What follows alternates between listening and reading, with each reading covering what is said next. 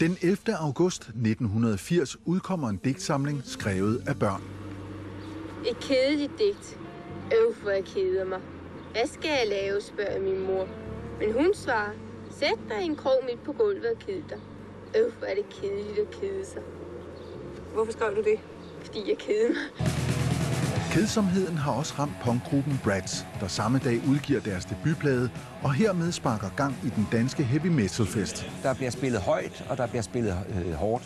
Det er jo ølfise og hornmusik, ikke lige hornmusik i det her tilfælde. Selve musikken er dyster, selve tonevalget er dystert. Ølfise og rockmusik, så ikke? Der er altid nogen, der har troet, at det var rocker, og det var ballademager og alt det der. I 77-78 hed det punk, og i øh, 80-81 hed det New Wave, og nu hedder det altså Heavy Metal. Den her har vi faktisk aldrig lavet. Det var den her. Og i få tilfælde så var det den her.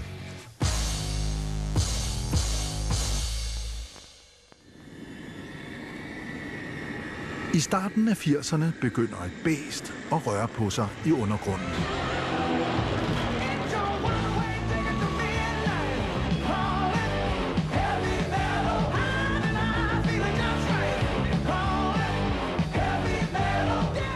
Bæstet hedder heavy metal, og det er beskidt, farligt og for mange i samtiden frastødende. Jeg synes, den værste heavy metal musik i dag er umenneskelig. Heavy rock øh, og heavy metal på det tidspunkt var jo voldsomt øh, umoderne i Danmark. Øh, her der skulle det jo være new wave, punk eller dansk, dansksproget ting.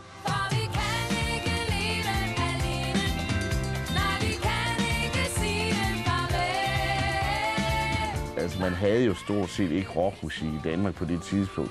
Det, man kaldte rock i Danmark, det var jo sådan noget som Tøsedrengene og Juice og Nana og hvad vi har, ikke? Men du ved, hvad jeg tænker, men du ved, hvad jeg drømmer. Selvfølgelig har der ligget et undertrykt behov for det, en af mine venner kalder fulde hegn.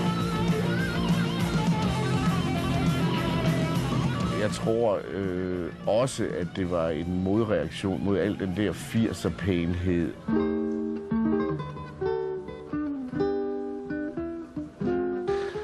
Og øh, al den opstyltethed, øh, den der yuppie-generation førte med sig, som var lutter hulhed og forbandet lidt substans. I 1980 piker punken i Danmark, og det bliver ikke godt modtaget, da Bratz går over til heavy metal. De første øh, koncerter, jeg spillede med Bratz, øh, i og med, at jeg var med til at trække det over i en, i en heavy retning, der var der mange punkere, der stod og, og, og spyttede efter mig og, og gav og, og skældsord. Nummeret Heavy Rocker på debutpladen Bratz 1980 er en hyldest til Ken Anthony. Han er gruppens manager og medarbejder i musikforretningen Bristol Music Center. This is his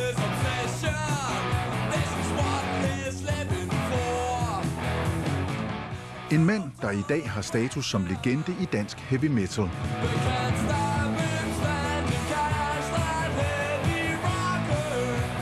Ken, han var indbegrebet af heavy, heavy metal og heavy rock. Øh, han var vores øh, godfather. Ikke? Hvad Ken Anthony sagde, det var lov. Ken Anthony har et stort internationalt netværk og promoverer flere danske metalbands i udlandet. Da Brax bliver til Merciful Fate, fortsætter han som manager og tager også den unge jyske gruppe Pretty Mates under sine vinger. Det gik jo lidt små, du ved ikke. Man kalder det som manager, ikke? Og det lyder så skide flot, men så flot var det jo ikke. Der var ingen penge i det jo. Altså, der var ikke noget, jeg havde tjent penge på. Men det har været sjovt at hjælpe folk, du ved, og hjælpe bands ud i den, i den store verden, ikke? Jeg synes, han gjorde så meget for dansk heavy dengang. Altså, han var virkelig... Ham skylder vi alle sammen, ikke bare os mange andre heavy bands, skylder også ham tak for, for de unge år. Der. Altså, det, øh, han var bare sådan, det bedste ord, jeg kan finde, en ildsjæl. Ikke? Jeg var en stor fan. Jeg var nok en af de største heavy metal fans herhjemme, jo, så for mig var det bare... Det var skideskægt. Du har solgt gramofonplader i, øh, i mange år, og ja, speci- specielt heavy metal-plader. Mm. Har du fornemmet nogen øh, stigning i interessen eller nogen? Ja, helt klart. Altså, inden for, hvad skal vi sige, de sidste 3-4 år, der er det steget meget, meget kraftigt, og det bliver ved med at stige. Ken Anthony er ivrig importør af heavy metal fra USA og England, og i start 80'erne samledes Danmarks heavy-drenge og piger omkring ham i Bristols rockafdeling. Der kom der mange mennesker derinde og stod og lyttede. Det var jo i gamle dage, hvor der havde sådan nogle høretelefoner, der var stukket ned, og så stod der og lyttede derinde. Ikke? Og så kom man jo i snak med folk. Og så på det tidspunkt im- importerede vi mange plader fra USA, så vi havde mange ting, øh, som ikke var i de andre forretninger.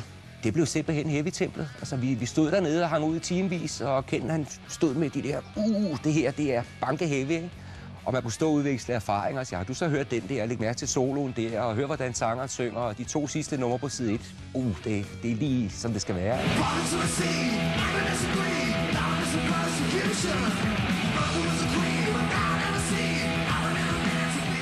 Det, som fansene hører i bøfferne, er bands som dette.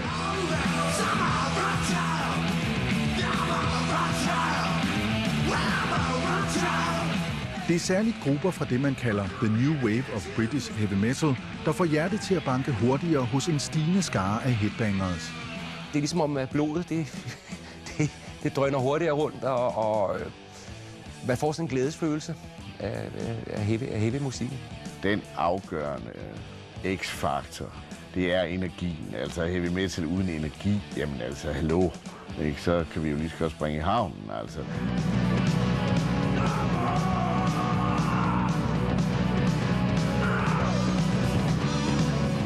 En masse nerver, fordi det er, øh, der er masser af tråd, ikke? Overstyret guitar, og man kan også få lov at skråle lidt en gang imellem, ikke?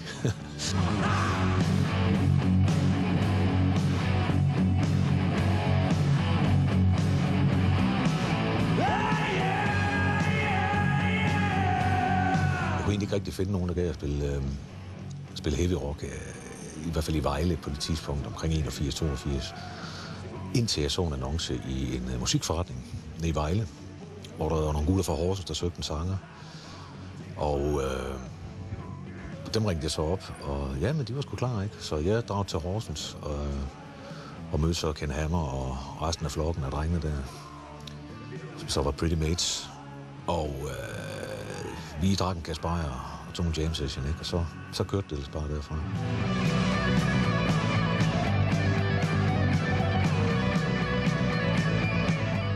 Drivkraften i Pretty Mates er Kenneth Hansen og Paul Christensen. Gruppen har end ikke udgivet en plade, da Ken Anthony skaffer dem på tur i Skandinavien med legendariske Black Sabbath.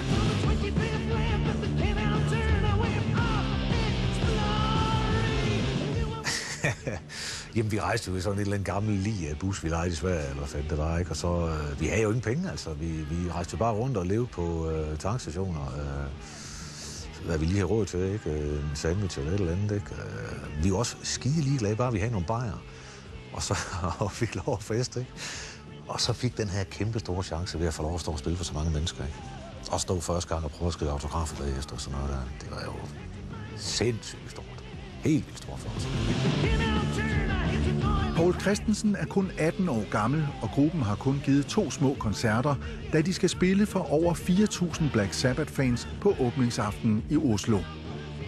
Jeg kan bare huske, at jeg var simpelthen så skide nervøs, at jeg tror, at Kenden han måtte låse mig i røven, før jeg gik ud på den scene. Jeg var så tæt på at... Ja, ikke? Lægge en dej. Ej, jeg var virkelig nervøs. Jeg vil sige, at jeg skulle stadigvæk nervøs, når jeg går ind på en scene. Turen med Sabbath er den bedste reklame Pretty Mates kunne ønske sig. Så det var jo et mega magnum skridt, vi tog der i 1983 fra at øh, være nul og en skid, og nogen, der sådan var lidt i undergrunden, så pludselig til at komme ud og lege med de store drenge, ikke?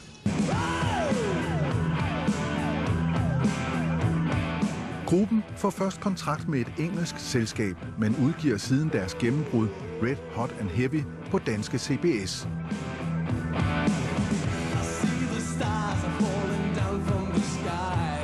Hvad er det specielt ved Pretty Mates, der gør, at, at de har muligheder? De har muligheder, fordi de kan skrive nogle gode melodier, som, øhm, som når du har hørt dem et par gange, øh, stikker ud fra resten af den strøm af heavy metal, der er i øjeblikket. Var der ingen danske pladselskaber, der ville have jer dengang, I startede? Nej, altså vi, vi øh, vores manager Ken, han var på en runde, ikke? hvor øh, altså de steder, hvor han var, der, der synes de ikke lige... Jeg fik lige på det tidspunkt, det var ikke lige noget. Det var, ikke, det var heller ikke... Altså det er alligevel også et år tilbage, og de synes ikke rigtigt. Synes de, I var dårlige, eller synes de, at tiden ikke var moden? Mm, ja, jeg tror nok, det var fordi, de ikke var modne. Ikke? De sagde, altså ved nogle af pladeskaberne... De ikke var moden? Ja, jeg tror simpelthen, at ved nogle, at nogle af pladeskaberne sagde de, at, øh, at der var 50, 50 baner i København, der løb fuldstændig lige sådan.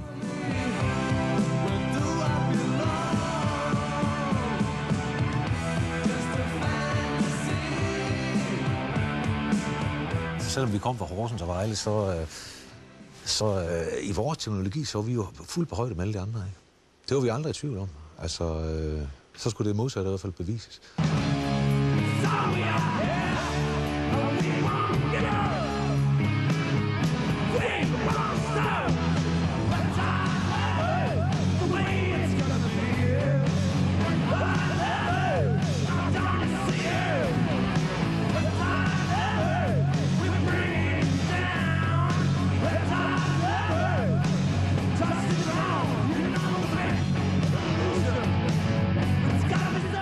Man bruger et meget fastlagt sæt klichéer, øh, et meget fastlagt sæt akkorder, og de solistiske indslag er som regel lige så fastlagte. Det vil sige, det, der lyder som improvisationer i heavy metal, er stort set ikke improvisationer, men stiløvelser, øh, som tit er lidt langvarige. Kritikerne elsker mildt sagt ikke heavy metal, men det gør ikke fansenes kærlighed mindre. De rykker sammen i et stammeagtigt fællesskab. Vi var vores stamme, og vi var stolte af det, vi var. Så øh, hvis de andre ikke kunne lide det, så var det deres problem, ikke?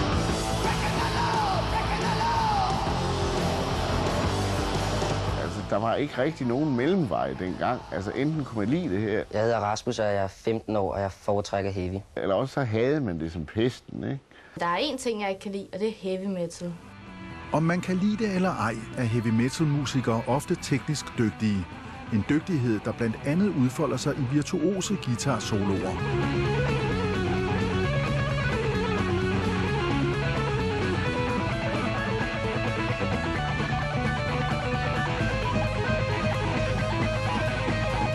Hvis du er solist øh, på dit instrument, så, så skal man jo ligesom kunne, øh, kunne, kunne finde på et eller andet enestående og interessant. Ikke? Så jeg ved, vi er mange af os øh, heavy guitarister, der har siddet og tærpet skalaer i måske 10 timer øh, hver eneste dag, for at, at, være lige, at være lige så hurtige og lige så dygtige øh, som de andre.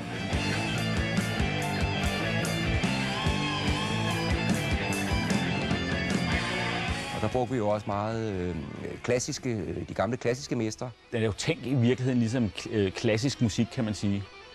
Fordi der er så mange elementer i den, rytmiske og mange andre ting, og selve tonevalget er også, nærmer sig faktisk også mere klassisk, end det, mangler, end det nærmer sig pop. Ja, jeg har valgt nummeret Metal Heart med Accept, fordi at, øh, jeg synes, det er det bedste heavy nummer. Der er Felice, så Beethovens Felice lavet om til klassisk, eller om til heavy, som øh, guitar, altså heavy guitar. I midten af 80'erne pipler det frem med bands og fans i hele Danmark. Heavy metals storhedstid er inde. Paul Borum, er der en ny bølge af heavy metal? Ja, det er der absolut, og den er meget stærk, og det synes jeg er noget positivt. Det er jo sådan i rockmusikken, at der kommer en ny bølge cirka hver tredje år. Og det er sådan noget, der kommer nedefra. Det er ikke bare lumske spekulanter i pladebranchen, der, der skaber det. Hvordan er det at være heavy metal musiker i Danmark? Øh, Det er meget stilfærdigt. Det har været i de år, jeg har spillet. Indtil nuværende tidspunkt. Det er som om, der er ved at ske noget i øjeblikket. Som om, at bladene er ved at få øjnene op, radioen er få øjnene mere op, og ja, nu også tv. Heavy er et landsdækkende fænomen, og kommunikationen i undergrunden er hæftig. Den foregår over post og telefon, blandt andet via undergrundsbladet, som bandsene sender demobånd og kontaktadresser til. Ivrige fans, eller måske talentspejdere fra pladeselskaber, kan få fingrene i musikken ved at skrive til bandet. Det er jo utroligt så mange danske bands, som er på markedet i øjeblikket. Dem skriver vi også meget om. Der er et behov for en dansk scene også i det blad. Der er for eksempel demotapes, som de så har udsendt. Dem må vi så få fingrene i. Vi har alle vores kontakter, gode fede kontakter rundt omkring, og dem anmelder vi så også. Den såkaldte tape trading er ikke kun et dansk fænomen. Bytningen af kassettebånd foregår på tværs af landegrænser, og heavy metal fans har et verdensomspændende kommunikationsnetværk før internettets tid. Jeg kan huske, at vi fik breve fra, fra så forskellige lande som øh, Brasilien, Japan, Syrien, Iran, jeg ved det. Altså næsten alle mulige steder. Du kunne næsten ikke nævne et land, uden der var et eller andet headbanger dernede.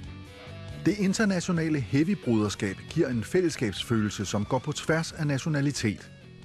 Det er en livsstil, ikke? Og det er en livsstil, man har til fælles med en masse mennesker i hele verden. Og så er det lige meget, om de andre, de øh, sad inde i nabolejligheden, eller de sad i Argentina. Man kan sige, der er mange symboler i heavy metal, og et af dem er jo det her. Og det er lige meget, hvilket land man er i, hvor man er henne i verden, så forstår folk det her. Det er simpelthen heavy metal hilsen over alle. Hvis man gør sådan her, så kommer den der. Heavy metal er et internationalt sprog, men det er ikke kun derfor, at de største danske bands bliver signet i udlandet. Kan man leve af at være øh, heavy metal musiker i Danmark? Nej, det kniver lidt. Det, der er ikke de store indtægter, kan man sige. Det er også derfor, vi bliver nødt til at fokusere lige så meget på udlandet. Ja, da vi fik den første pladselskab på de der engelske Bullet Records, ikke? der sagde de, øh, ja, men I bliver nødt til at finde nogle andre navne. Af hensyn til det internationale marked har de været nødt til at finde på nye navne. Gruppens keyboardspiller, den næsten blinde Allan, har taget efternavnet Oven, og den tyske guitarist Gerhard Schleifner har kastet efternavnet bort og erstattet Gerhard med Angel. Forsangeren Paul Christiansen til højre hedder Ronnie Atkins, og gruppens ophavsmand Kenneth Hansen hedder i USA Ken Hammer. Bassisten Allan Jensen er blevet til Allan DeLong. De kaldte ham alligevel Den Lange. Og trommeslageren Henrik hedder nu Phil Moorhead, fordi det lå tæt på hans kælenavn, Mudderhoved. Altså, var der en, der har sagt det til mig i dag, så siger jeg, du kan, du kan skide her, ikke? Altså, ja, du skal ikke bestemme, hvad jeg skal hedde. På det tidspunkt var der ikke nogen relevante danske pladeselskaber overhovedet. Der var ingen, der ville røre ved den slags musik. Der var ikke penge i det, mente man. Der var ingen fremtid i det. Det var ikke øh, kulturelt nok, eller også var det ikke kommercielt nok. Det kunne de jo så ærge sig over, da de så fandt ud af de salgstal, vi havde i øh, USA de følgende år, der kom.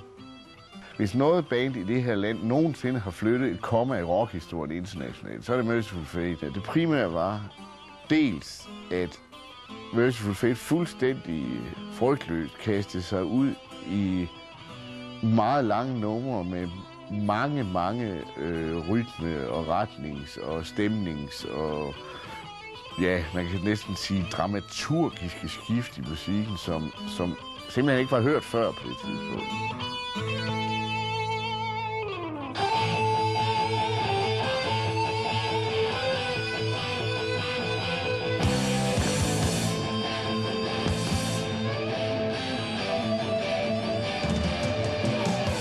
Den anden ting var selvfølgelig King Diamonds vokal, fordi øh, den er mildest talt det, øh, de i udlandet kalder en acquired taste.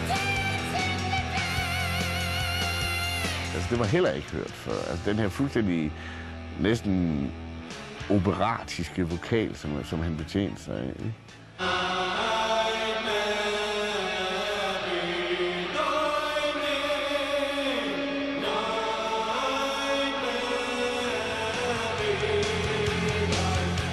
Han havde næsten en hypnotisk øh, udstråling. Og øh, hans, øh, hans påklædning, ikke? Altså læderjakke og øh, nitter og øh, kæder og øreringe. Og, altså, han, han lignede simpelthen bare en rockstjerne. Og, og øh, man kunne mærke også den ildhue, han havde omkring det. Altså, det var det eneste, han levede for. Øh, for. Han var simpelthen manden, og han løftede også bandet øh, op på et helt andet niveau. Den her sådan er lårbenet fra et menneske, og her er vi skinbenet. Og det er så formet som et kors, hvorpå øh, mikrofonen bliver sat på her. Den fungerer som mikrofonholder. I stedet for alle de her sædvanlige mikrofonholder, man altid ser. Ikke? Der er noget specielt over det her, der er noget, sådan noget stemning over det. Det er ikke kun Merciful Fate, der går op i at præsentere sig selv flot udadtil. Men i Jylland er det svært at få fingrene i det helt rigtige udstyr. Vi sad derhjemme og syede vores øh, læder nittebånd, fordi at, øh, tilbage i 1982, da jeg vidste sgu ikke lige, hvor jeg skulle købe det. Jeg skulle til London eller sådan noget. Det kunne også godt være, man kunne finde det et eller andet sted i København, ikke, eller importere det. Men det havde vi jo ikke lige, da vi skulle lave den første fotosession der, så, så må vi selv i gang. Og jeg skal da være den første til at indrømme, når jeg ser nogle af de der gamle billeder, så, så ser det sgu rimelig komisk ud. Men altså, men der var faktisk lagt, lagt masser af hjerteblod og masser af nerve i det. Ikke? Vi gik jo op i det, atme, som jeg ved ikke hvad. I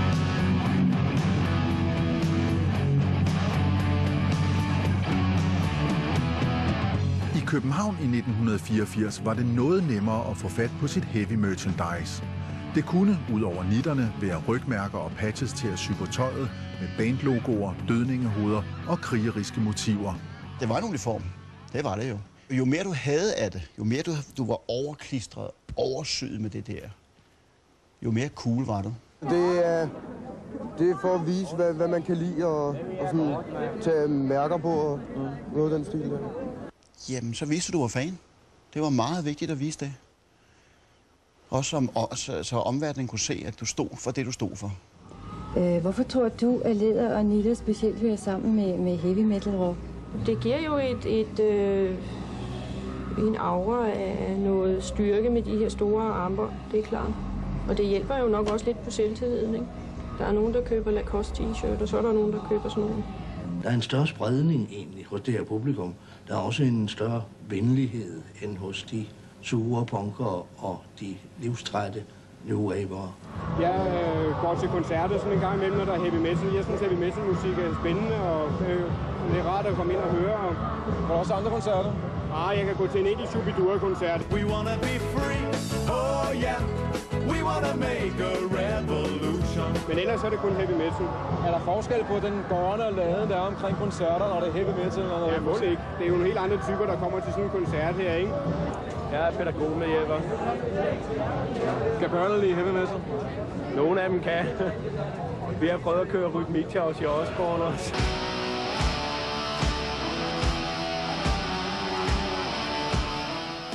Var jo kun andre, der siger med det musik, vi spiller, og det tøj, vi tog på, for ellers var vi jo ganske almindelige unge mennesker, ligesom alle andre var jo virkelig. Ikke? Og så er vi langt over. Ikke? Det kan godt være, at det er fredelige unge mennesker, men de ser farlige ud.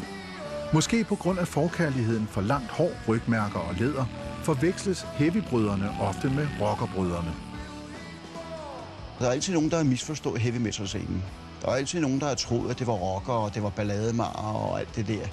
I 80'erne er der krig i Danmark mellem de to rockergrupper Hells Angels og Bullshit. En krig, som koster menneskeliv. Rockermiljøet har de sidste år boblet og kogt over. Episoder har fyldt avisernes spalter og arkiver. Her er for eksempel BT's arkiv bare over rockersager. Rækken af rockerdrab er efterhånden lang. Mordet på Makrallen, maj 84. Bullshit-præsidenten bliver meget ned uden for sit hjem af Hells Angels. To medlemmer får 7 og 12 års fængsel, mens et tredje, Jynke, flygter. Han er indirekte dømt og beskrev senere fra sit skjulested i en roman mordet meget indgående. Hvis Hells Angels har magten, er den i dag på meget få hænder. Kun 10 mænd bærer i dag, så vidt vi ved, rygmærket. Det er Carlo, Gøjler, Hamster, Blondie, Dirty, Hansi, Jens, Jynke, der er på flugt, Middelbo og Mucho. Af dem er de tre i fængsel. Der er ikke noget at sige til, at folk er bange for rockerne. Og det er en angst, som smitter af på heavyfolket. Nu var vi fem øh, medlemmer i orkestret, og alle havde jo øh, læderjakker på, pandebånd, øh, nitter på, øh, på øh, både på bælte, bukser og jakke, og øh, øh, djævlehoveder med flammer og sådan noget på, på, øh, som motiv. Man kunne se øh, angsten i folks øh, øjne, når man gik forbi. Du vil gerne være anonym i det her interview. Hvorfor vil du gerne være det? Det, øh, jeg er meget bange. Jeg er bange for at, øh, for at blive genkendt. Jeg er bange for, at de ingen hæmninger har, hvis først de føler sig trådt på. Men Balvi, det vi hørte tjeneren fortælle her om sin angst for vold fra rockerbander, er det noget, der er et meget isoleret fænomen, eller gælder det flere? Det gælder desværre alt for mange i det danske samfund, og øh, der er også en kraftig stigning i angsten for vold. Hvis jeg kom gående i mit, øh, i mit øh, lædertøj, og jeg så et ældre ægtepar øh, kom gående på samme fortog, så kunne jeg godt finde på at gå over på det modsatte fortog for at skåne dem for den øh, ængstelse ved at, at, at møde mig øh, i, i modgående retning. Skrækken for rockerne giver problemer for Pretty Mates, for rockerne kan godt lide deres musik. Vi havde faktisk en del problemer med det i de tidlige år i Horsens, ikke? Fordi der kom der rocker til, til koncerter og, og sådan noget. Det gør der da stadigvæk i dag, hvis vi er ude at spille, ikke? Men de kommer også bare for at høre noget fedt musik, ikke? Der kom jo i sagens natur rockere til den slags musik. Hvor skulle de ellers komme, ikke? Men heavyfolket er blidere, end de ser ud, selvom det går vildt for sig til koncerterne. Folk gik jo egentlig ikke til koncerterne for at slås. De gik jo til koncerterne for at, for at overfyre den af, ikke? Og de store headbanger alle sammen jo banke hovedet i væggen og flippe ud og spille luftgitar. Det var sket. Jeg tror, der er større risiko for en på skallen ved et halvt valg i Jelling, for eksempel. Pretty Mates spiller deres koncerter på Saltlageret i København, hvor man ikke er så nervøs for optøjer. Det er også her Merciful Fate spiller deres første jobs. Med forsangeren King Diamonds sataniske tekster, hårdrejsende sceneshows og en hidtil uhørt hård lyd, vækker de den sorte metal fra gravens mørke. Vi vil gerne have en lille skræk i livet på folk, når vi spiller, ikke? fordi det giver, det giver dem noget ekstra, også når de sidder hjemme og hører pladen, og det var det, der skete det, og det der skete der, det og så videre. En skræk i livet? Ja, giv dem øh, en, så de bliver en lille smule bange på visse tidspunkter i showet, fordi det, det igen, så kører det på nogle helt andre sanser hos mennesker, som, som giver dem en, en endnu større oplevelse, end de ellers ville have, hvis de bare stod og kiggede sådan, ikke? Hvordan gør du det? Hvad gør I det? Det er blandt andet, at vi brænder kors af på scenen, som øh, giver folk, har jeg fået at vide, efter koncerter, en meget speciel følelse. Ikke noget med Ku Klux Klan og den slags ting, det er intet med det at gøre. Men det, at de ser levende i på scenen, det, det, det giver dem noget specielt.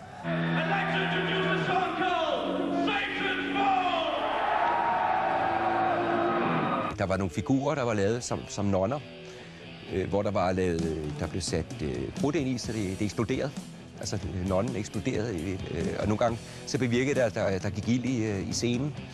Øh, på et tidspunkt havde vi hyret en striber, som øh, blev sat op på et, øh, et kors, kun iført øh, små bikinitrusser.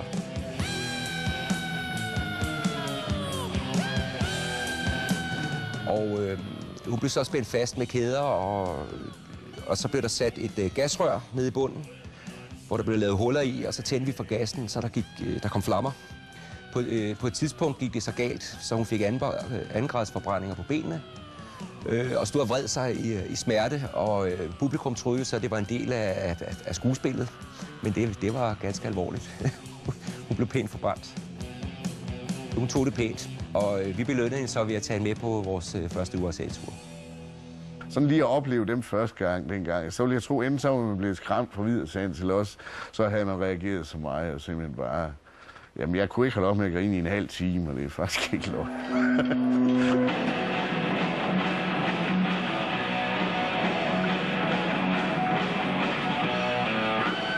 Så har vi også øh, på frontsiden to korslagte gåsfjer siddende, som vi øh, påstænker menneskeblod på scenen.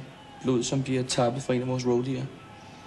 Og det er altså et øh, satanisk ritual, som øh, via hvilket vi øh, byder satan velkommen til vores koncerter og prøver at få ham ind i den koncertsal, hvor vi er, og få ham til at nyde det, vi laver sammen med alle de andre mennesker. King han var jo øh, øh, troende, altså i den, øh, på den led, så han mente bestemt alvorligt. Selvfølgelig er det teater, men, men der, var, øh, der var alvor bag, helt sikkert. Det siger mig ikke noget at synge om øh, motorcykler og den slags ting der, det gør det ikke. Min hovedinteresse efter musikken, det er simpelthen okkultisme. Vi var ude for, øh, at, øh, at der var øh, kristne grupper, der stod, når vi spillede koncert, og prøvede at overbevise folk om, at det var, det var syndens hus, de gik ind i, og, og de kunne risikere at blive taget af det onde. Ikke? Og jeg vil sige, at jeg beundrer dem, at de, at de havde mod på at stille sig og, øh, med deres budskab for en koncertsal, hvor der kommer 500 øh, øh, heavyrockere ind i, øh, i læderjakker og nitter og med djævlehoveder på, på koppervesten. Det, det respekterede jeg. Det synes jeg var, var flot.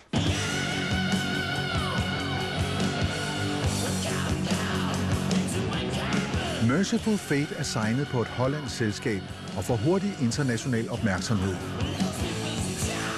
Det øh, gik rygtet jo, at øh, det var det hårdeste band i verden. Altså det hårdeste metalband, der fandtes. Det var så også det tungeste, det hårdeste. Og det er jo klart, sådan noget giver presse. Kombinationen var jo så, at vi blev sat på en, øh, en liste i USA. De forbudte 15, mener jeg, det hed. Listen indeholder 15 musiknavne og numre, som en forening af bekymrede amerikanske forældre med den senere vicepræsident fru Tipper Gore i spidsen mener kan fordærve ungdommen. Merciful Fate kommer på denne hitliste med nummeret Into the Coven.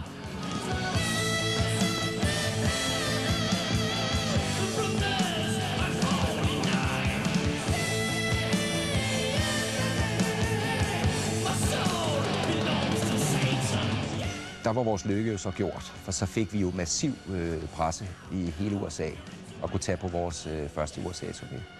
Så mange tak for det.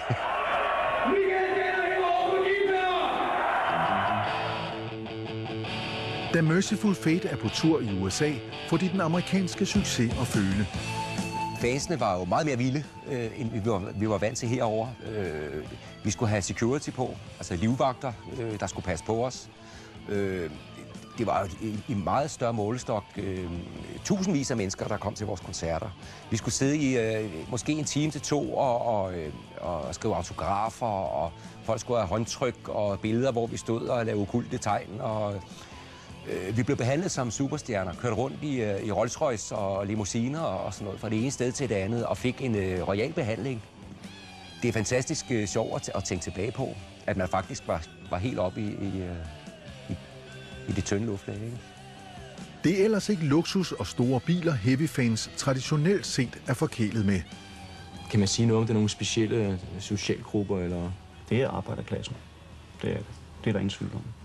De her mennesker kommer meget ofte fra sådan de mere trøstesløse industricentre eller forstadsmiljøer, hvor øh, der ikke er så meget andet at lave end at øh, spille høj musik. Det er deprimerende at læse lokale aviser hernede. Der står ikke ret meget spændende og positivt nyt. Måske derfor er heavy rigtig stort i Nakskov i midt-80'erne. For her er stemningen virkelig trøstesløs. Området er hårdt ramt af virksomhedslukninger, den traditionelle industri er på tilbagetog, og arbejderne bliver arbejdsløse. Mange af dem mødes i torsdagsklubben i Nakskov. En klub for arbejdsløse fra alle brancher. Udover det sociale samvær bruger de meget tid på at diskutere fremtiden. Vi vil ikke øh, billig arbejdskraft. Vi vil gerne have noget arbejdskraft. Eller noget arbejde herinde. Meget gerne. Torsdagsklubben blev dannet, da skibsværftet lukkede. For et år siden arbejdsplads for 1600 mennesker. Dokkerne står tomme, men de gamle værftsarbejdere har ikke godtaget, at værftet er lukket. Deres stående replik hedder, når værftet åbner igen. Nakskov Skibsværft åbner ikke igen. For nogen kan heavy metal være et tilflugtssted fra hverdagens problemer. Et sted at give los for fantasier om villige damer, muskelkraft og motorcykler. En af den her musiks erklærede mål er jo altså at, er at underholde simpelthen. Ikke? Og du underholder ikke mere, folk med at fortælle, hvor store problemer de har. Det ved de sgu godt.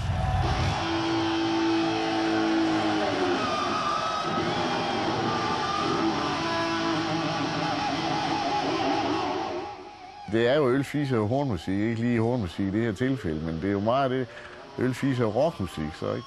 Det gælder om at se macho ud, ikke? Altså, sådan var det i hvert fald på, på det tidspunkt, ikke? Man var en hård, en hård og vred mand med, med, med nitter og, og attitude, ikke?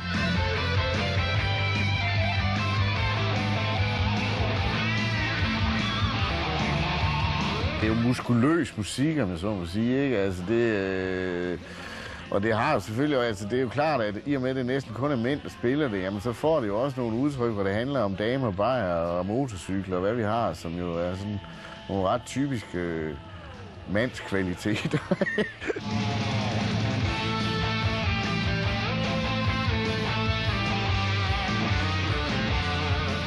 Det, det er sådan noget, der er typisk for den her genre, og, og, og også sådan noget som det her, hvor, hvor hun får den lige mellem benene der, ikke? Og det skal hun have hele natten. Men det er et lidt ældre omslag. Der er ikke så mange, der gør sådan noget mere, for de får simpelthen for mange rødstrømper på nakken. Jeg kan så sige, at det var der mange kvinder, der... øh, Altså, der, der fulgte jo kvinder med i det her. Og også mange kvinder, der var, der var vildt begejstrede for, øh, for øh, musikken. Der er også talt om, at det, noget af musikken er kvindediskriminerende, men altså, jeg synes, det er meget godt. Jeg synes ikke, den er specielt mandsjuvenistisk, ikke. Jeg synes, det er stærk musik. Og skulle den være en lille smule mandsjuvenistisk? Vi havde jo brug for pigerne. det, var, det, var, jo- det var jo også en af, af de ting, der, var, der fulgte med. Det var, at der var øh, kvinder og smukke kvinder til, til koncerterne. Både under koncerten og også øh, bagefter.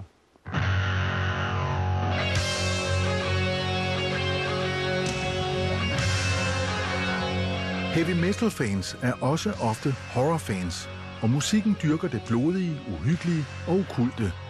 Og det er der nogen, der har svært ved at acceptere. Genren har fascistiske tendenser øh, i og med, at den, øh, at den har nogle voldelige aspekter, som er undertrykkende.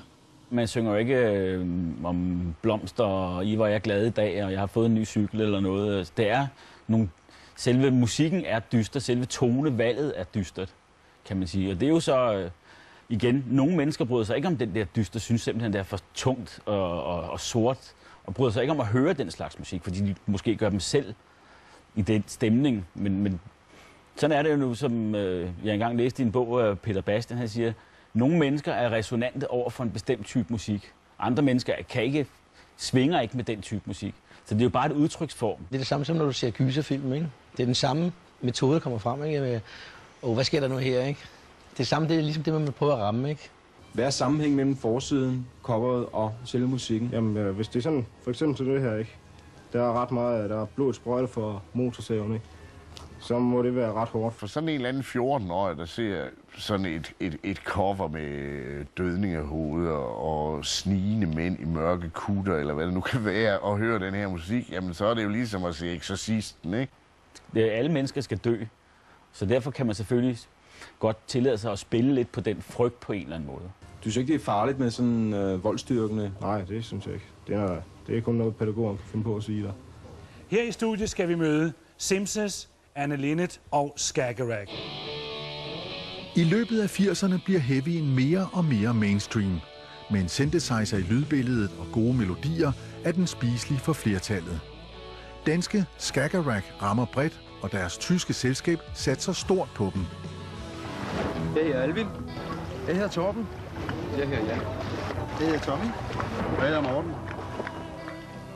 Tilsammen udgør de gruppen Skagerrak, og deres pladeselskab har netop brugt 800.000 kroner på at producere en LP og en halv million på videoen I'm Alone.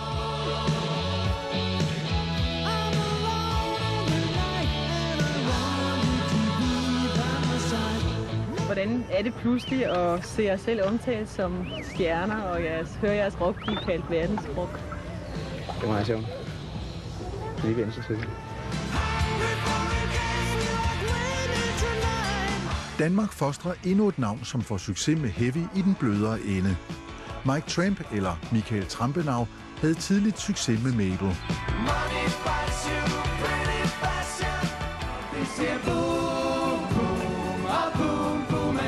Når jeg kigger tilbage på det, så det var, var det en fejltagelse. Fordi øh, da vi var i gang med vores anden LP og var i studiet, havde vi slet ingen planer om at gå den vej, hvor vi endte op med Boom Boom. All that we destroyed, you must build again. Mike Tramp følger sit sande kald, tager til USA og danner White Lion.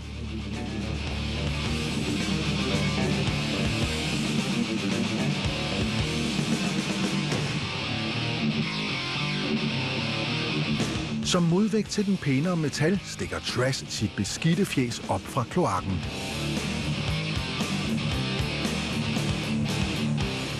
Thrash, det jo, betyder jo simpelthen fræs. Det vil sige, at man spiller fræs på gitaren, hurtige, øh, hurtige riffs, hurtige rytmer osv.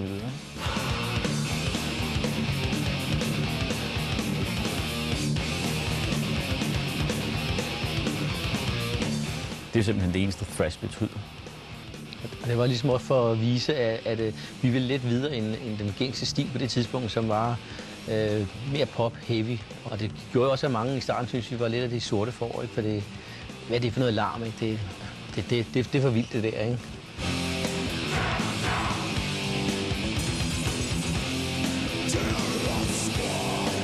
Artillery er pionerer i genren. De spiller hurtigere, højere og hårdere end nogen danske bands på det tidspunkt, og de er inspireret af punkens oprør. Der er jo to oprør i det, kan man sige. Der er oprør, det rent musikalske oprør, hvor man siger, øh, men vi gider ikke at køre med på en eller anden vogn, hvor øh, musikken skal kommercialiseres, eller hvor den skal gå i nogle bestemte passe ned i en bestemt, bestemt æske eller noget. Men også via teksterne siger man, og via måske attituden siger man, det her samfund er for pænt, eller det er for småborgerligt, eller noget andet. Der mangler noget fylde eller noget rum. Hvad skal man sige, filosoferet lidt over dagligdagen, over verden, som den så ud med de farer, der var, de øh, utrygheder, der, der kunne skabes øh, med atombomber, krig, øh, videnskab osv.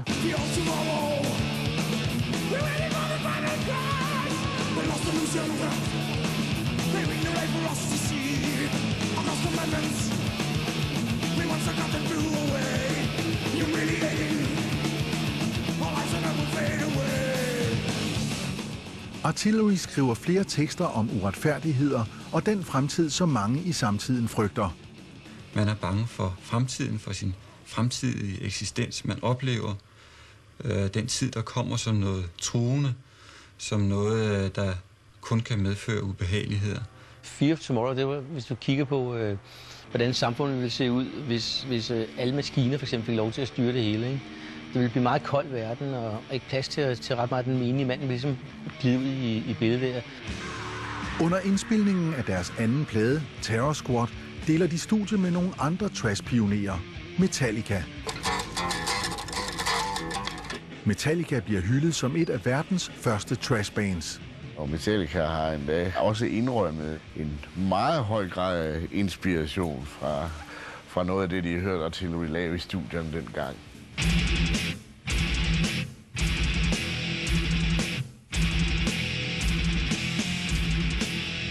Metallica er i dag verdens største heavy band.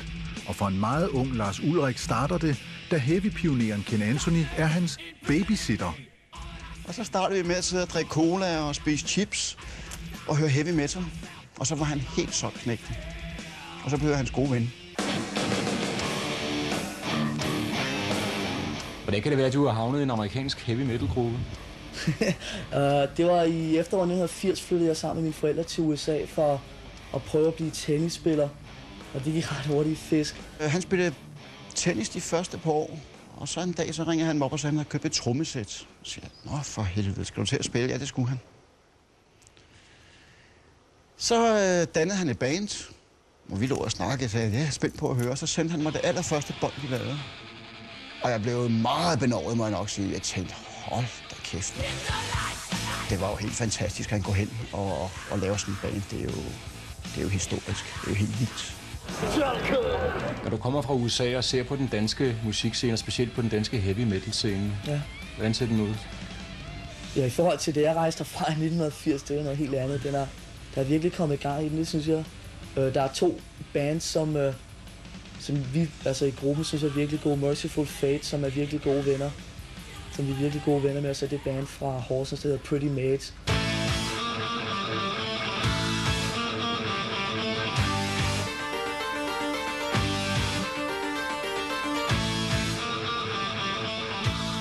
I 1987 udgiver Pretty Mates pladen Future World. Det er den dyreste danske rockproduktion nogensinde, og der satses på et verdensgennembrud. På det tidspunkt, der havde Europe øh, slået igennem med The Final Countdown. Der var det sådan ligesom de store cigardrenge over på i monolitten i New York, som hovedsædet hedder. Ikke? De har vendt blikket mod skandinaviske bands. Ikke? Der blev kastet en masse penge i, i røven på os, ikke? og vi blev øh, hentet over og kørt rundt i limoer til radiostationer og lavede videoer, lavede to videoer med dem, som, lavede, som netop havde lavet Bon Jovi-videoerne dengang. Ikke? Vi havde et nummer, der hed Love Games, som de troede på.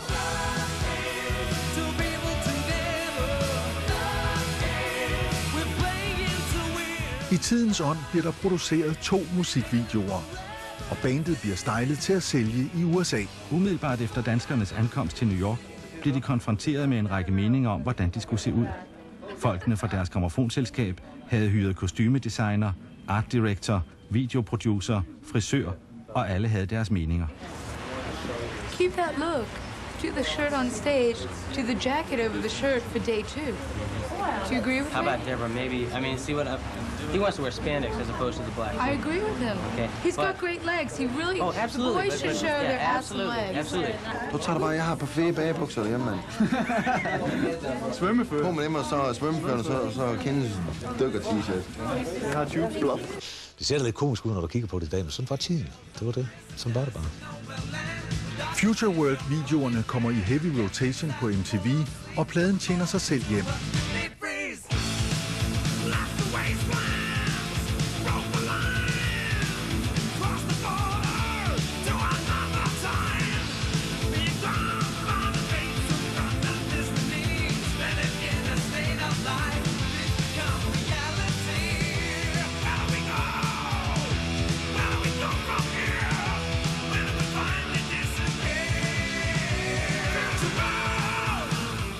På Future World Tour i 1987 sætter de prikken over i'et, da de åbner Monsters of Rock i Nürnberg.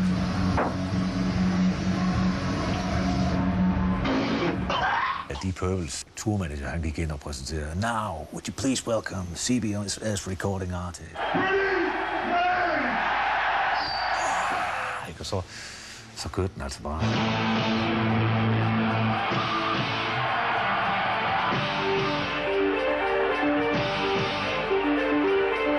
Og det var altså, det var helt vildt, som folk de var på. Ikke? Altså det, det er også derfor, det står simpelthen som, som noget af det mest fantastiske. Det tror jeg, det gør for os alle sammen i banet, at vi oplevede dengang. Det er virkelig noget, jeg vil være glad for, sådan da jeg går i graven. Jeg, jeg var med til det der. Det var super. Det, der, er, der er ikke nogen federe fornemmelse, end at stå deroppe og køre, og lov det bare køre. Det var helt, helt sjovt. I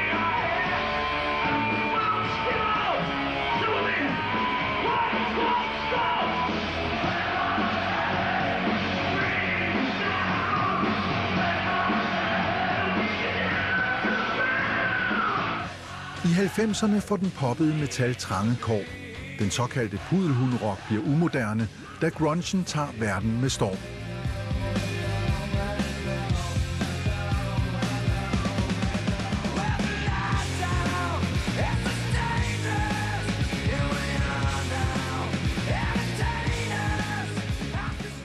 Pretty Mates rider på sin egen bølge med det meget umetalliske hit Please Don't Leave Me.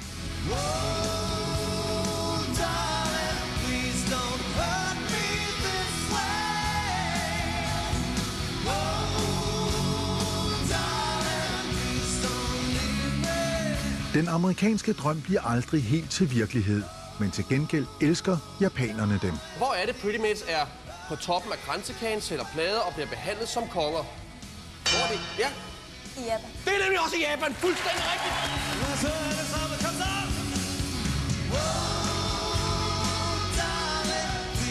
I 1984 diskuterer man, om heavy metal er kommet for at blive. Det vil være der altid, og så vil det være mere eller mindre et modefænomen måske. Men jeg tror ikke, at, at det sådan kan forsvinde helt. Det tror jeg ikke på. Det er ikke en domflue. Det er det ikke. Så jeg tror på, at den, den, den er kommet for at blive i Danmark. Det er helt sikkert.